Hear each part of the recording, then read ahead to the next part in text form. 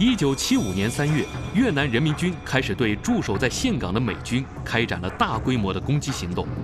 而担任此次任务的主角，正是伪装成为当地军民的北越游击队员。他们神出鬼没，无孔不入，打得美军和伪军晕头转向。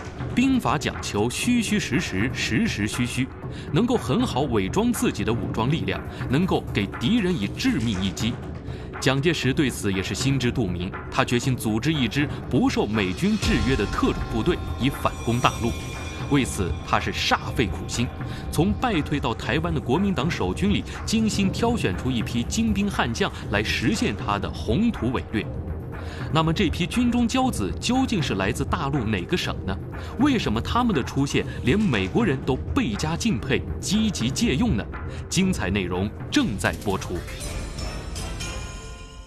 我刚刚讲过了，第四总队，他的战力最好。美国知不知道？美国知道，那蒋经国也让他去看。蒋经国呢，跟美军协防司令叫史奈德将军，史奈德将军的回忆录讲，他说有一天他在他在蒋经国的陪同之下，坐了飞机大概两个小时，在一个地方降落以后，又又搭车差不多两三个小时，然后到了一个地方，很多人认为。这个就是台湾现在的古关，其实是错的。其实他在新竹县尖石乡那个地方叫做鸟嘴山，就是人民公社的地方。史奈德进去以后，他发现那里面所有人穿的衣服都是什么共军的服装、共军的兵器、共军的语言。然后他说他们讲的话讲的不是普通话。各位想想看，他讲什么话？他也不讲闽南话，他讲的是正宗的广东话。那这些正宗的广东话，各位晓不晓得？三分之二的的以后要派到东南亚战场的三分之二，全部都是广东人，都是广东什么地方？雷州半岛旁边的人。雷州半岛一方面它接近中越边界，另外一方面在越南，在高棉就是柬埔寨。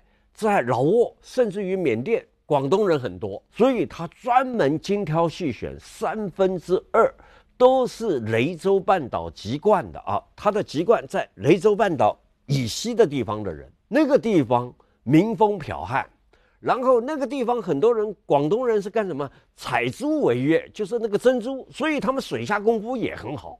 这批广东人，因为他战力很好，然后广东人他有个特性是在战场上是非常团结的，所以蒋介石只要求这些广东部队，你们就给我去空降广东。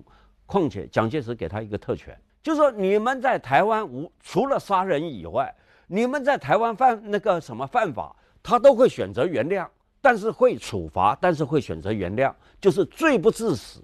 你由此可知，就是说，台湾的特种作战精英里面，为什么广东人那么多？原来是跟他的地缘政治，原来是跟蒋蒋介石在广东待过。那更重要的，他是广东人对东南亚的地形、地物、地貌是了解最多，而且广东人在东南亚，他的社群最多，他的社团也最多。这也是蒋介石为什么第四总队。都是广东人当家的原因所在。史奈德就是看了以后写了一封报告给甘乃迪总统，美国甘乃迪总统说这一批部队的战力精良。哎，甘乃迪一听就命令特使告诉了蒋介石，说能不能动用那你这支部队？蒋介石精挑细选，就是我刚刚讲的，他选了雷州半岛的。广东籍的部队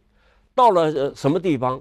第一个到胡志明小径，那胡志明小径是三个国家，第一个越南，第二个是老挝，那第三个就是高棉柬埔寨。他为什么先要选定胡志明小径？而这些特战部队，他在干季、他在旱季的时候，他不出动，他都是雨季出动。他语句出动，他必须要潜伏在那个地方。各位晓不晓得，他潜伏在那个地方，他要设什么东西？设一种叫做什么电子浮标的东西，他都把它插在地上，然后沿着胡志明小径，大概每每隔数公里，他放一个浮标。他放浮标的目的呢是什么？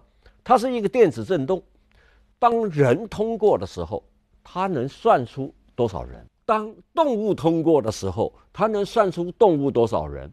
然后当所谓军队通过的时候，它也能算出军队多少人。那最重要的是重装部队要缓慢通过的时候，它就马上知道。观察好了以后，马上划定坐标，透过无线电。通知美国的 B 五二型轰炸机干嘛？